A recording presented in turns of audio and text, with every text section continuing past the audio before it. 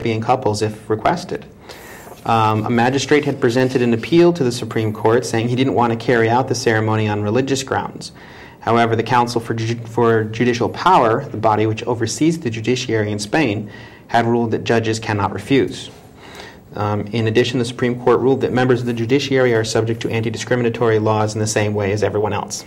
Hmm. So, I mean, basically, if, if they were performing it as a religious, maybe they have, as a religious person, maybe they have an opt out clause in it, but if you're performing it as a public servant, you're required to uphold the public law. There you go. well, that's cool. Um, I have a couple, of, just a couple of quick things here.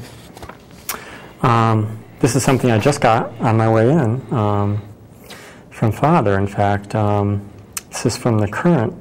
Um, apparently, Harvard. Harvard, Harvard to create visiting professorship in lesbian, gay, bisexual studies with a one and a half million dollar gift. Um, Harvard University is creating a visiting professorship in lesbian, gay, bisexual, and transgender studies with a gift of 1.5 million from the Harvard Gay and Lesbian Caucus. Kind of interesting. Um, I'm not sure exactly how that's going to work, but yeah, you go Harvard. Visiting professorship. Yeah, that's kind of cool. Um, the other thing I was, I, I'm, I'm going off on a tangent here, I suppose, but um, this was um, this was something uh, that I was I got actually from Tambria also. Um, this is the challenge to uh, to um, California's Proposition 8, Oh. which is an interesting thing. Um, the you know the the um, the California Supreme Court issued its decision um, upholding Proposition 8, and of course that's immediately been challenged by this um, um, uh, Olson uh, Boies, I guess which was it, it's an, it's an interesting thing. But I, there was this uh, very long article about the pros and cons, basically, of whether or not uh, it's it's a good idea to challenge this for the uh, the LGBT community. Um, but the, it, one of the interesting things about this, I was looking at this. It's written by John Dean, and I, I'm looking at this picture and thinking, oh my God. I always wondered what happened to John Dean. I, you know, I, I, I was a child during Watergate, obviously. I was a child.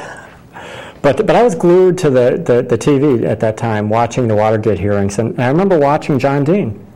Um, and uh, I sort of liked John Dean. He was White House counsel at the time.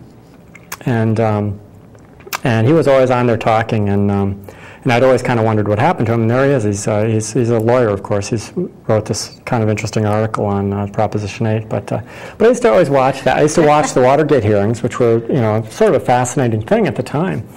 And uh, they'd have John Dean on there. John Dean was very young at the time, and, uh, and he was a newlywed. And I used to always feel sorry for him because he was up there, he was, he was being questioned, you know, for, for days and days and days.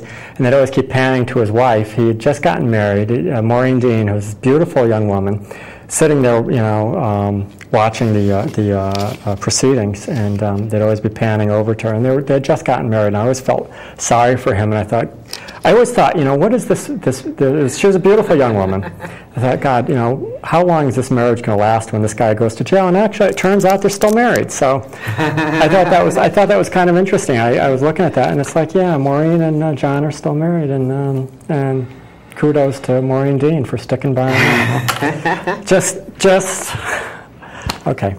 I've gone off on a total tangent here. That's I- all right. I'm sorry, but I thought that was interesting. Good old John Dean. Yeah. Not that I don't know how good a guy he really was. He was involved in Watergate, obviously, but he was he was a lawyer, you know. He was a lawyer. So, not that there's anything wrong with being a lawyer, but I mean, basically, so lawyers are paid to, uh, to to do their thing and keep their mouth shut, you know. and and so I, I don't know that. I'm not going to go into a whole Watergate thing. but it was interesting because I, I can remember that from when I was a little kid. I, I was glued to those hearings. It was the most interesting thing that I'd seen in a very long time, yeah. the Watergate hearings. And um, anyway, so now we know where John Dean went. okay, I'll stop. No, that's fine. But, but anyway, so, so this week, um, we, are, we are going to be in Hartford uh, on Saturday, and please, everybody come out and, um, and see us. You can come out and meet us and um, sign up for the TV show. We're going to do a, a TV show sign up, and um, If you want to come on the TV show, you have uh, ideas for the show, Yeah. um, come on over to our booth and talk to us. And um, we, we're, we should have a sign up sheet for uh, anyone who wants to come on and talk about something. yeah, it's cool. Not that you can't, not that you can't do that. Um, without coming to this event. I mean, if you want to come on our show, just contact us. If you have some reason to want to come on our show, you know, contact us and you can come on the show. Um, if you support us, if you oppose us, whatever, we're, we'll certainly debate anybody that wants to come on. So um, we have a standing invitation to the Family Institute of Connecticut um, to come on and talk to us. Um, but but uh, but yeah, you know, you can uh, you can contact us and uh, or you know contact us through our website. You can contact the station whatever, and, and uh, come on. Uh, we're open to that, certainly. We'll talk to anybody. But but anyway, so um, but but it's going to be a good thing. This weekend's going to be really cool. We're going to be um, On D-Day. up there. Yeah, we're going to be up there in Hartford um, with our little tent and um, and be giving out cheesecakes and condoms. so, so come on up. You know. We've got all the C's covered. Yeah, absolutely. If you want to, if you want to meet us, um, we're going to be there. Come on up. So very cool. Anyway, um, so that's that's pretty much the stuff that's going on. I think um, I think that pretty much covered all of. Um, I, I, yeah, I mean, I have the Cheney thing here too. I was not really wanting to go into the Cheney thing. I let you Oh, do that. Cheney thing. Um, but um, anyway, so so and next week we will have um, we will have Brett Bernardini on, who is um, the um, director and co-founder, I believe, of um, Yeah, creative Of- director or executive director, and yeah something like that. Founder, he's yeah. like the, the He's guy. He's the guy that's in charge. yep. The uh, HMFWIC or whatever it is. he's he is he is he's a cool guy. Brett is a really cool guy, and he's um, he's going to be on next week and talking about the spirit of Broadway theater. So please join us for that. We have a call. Um, I think I know who this is. Good evening, NLC Trans. You're on the air. Hey, how are you doing tonight, you guys? Good. How Good. are you? Good, thanks. Hey, I, I watch your show. Every, I just flip through, and every now and then I catch you guys, and it's like, uh, just I just get interested. It seems like for whatever reason or another. That's cool. But uh, you know, I, I just wonder. I have a few questions. Uh, Okay.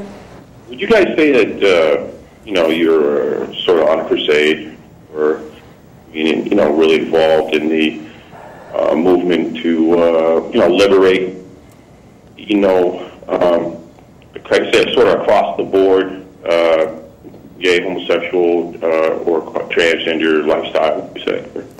Um, I don't know that I'd call it a crusade, but um, but yeah, certainly we're out there, and um, and we want to uh, we want to promote um, you know equal Well, rights. You know, for lack of a better definition. Right. Yeah, right. yeah. Just I'm just trying to trying to get a feel for. Yes, Yeah. we're, we're, we're definitely in favor of the, the positive reforms that have been made. Um, we're definitely taking the opportunities and the access that we have to, um, to publicize the, the positive and negative uh, viewpoints, the, the information that's out there, and criticize the people that we disagree with and praise the people we do. Um, we're not shy and we're not hiding. Um, Right. Whether that amounts to a crusade, yeah. Well, that's that's very interesting, and the not shy, not hiding is, is very apparent, and I I really uh, I applaud you for that. Well, That's thank you. um, but yeah, we, That's we something that go ahead. No, it's something I really get a vibe from both of you. It's like uh, you guys just you know telling me telling me like it is, telling it like it is, and, and it's right above board and it's straightforward, and, and I can appreciate that. And, uh, Well, thank you. uh, you know, um, I wanted to ask you about the uh, religious aspect, and I'm not Sure. not coming from any critical perspective here. Just curious what you know. I guess both believe. I mean, would you say you both agree there's a God? Yeah. Oh, yeah. Yeah. In fact, um, I don't think we, we have any problem even with um, the concept of organized religion. Right. So that's that's great. Um, you know, and that, and that you know that